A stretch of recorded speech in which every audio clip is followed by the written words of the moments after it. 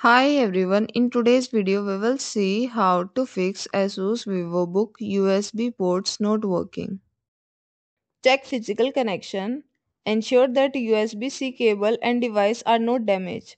Test the USB-C device on another computer to confirm it is functioning properly. Restart your PC. Shut down your laptop completely.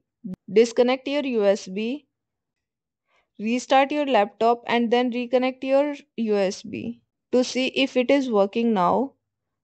Reinstall your USB host controller driver.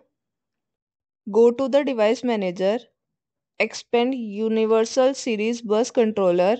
Right click on USB device and select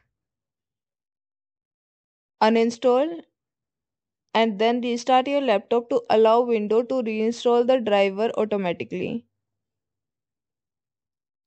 resetting the system. If the previous step does not work, consider backing up your file and perform a system reset through Windows settings.